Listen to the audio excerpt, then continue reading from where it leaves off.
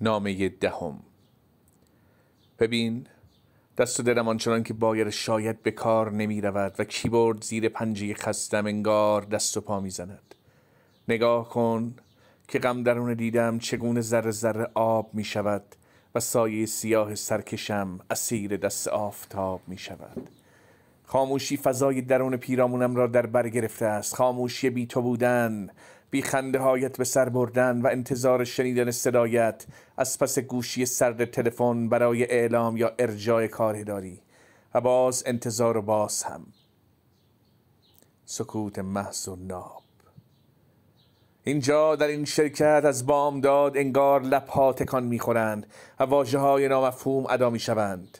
نمیشنوم و نخواهم شنید حتی.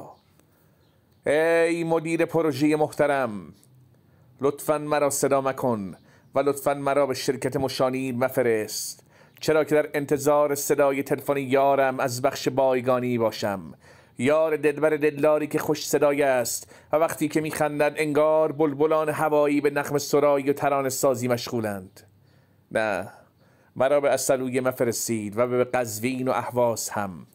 و بگذارید که تنها به تلفن بنگرم و گوش سپارم چرا که شاید اوست که میزنگد. و کار اداری برای ارجا دارد. آری شنیدن زنگ ها شنیدن محض و ناب و تو توی بی اتنا توی سنگ دلا زمان در چنگ توست و انتظار بی پایان من هم و من هم. تنها یک قرار کافی است. تنها یک قرار کافی است. پیش از اتفاق بعد با ما تماس بگیری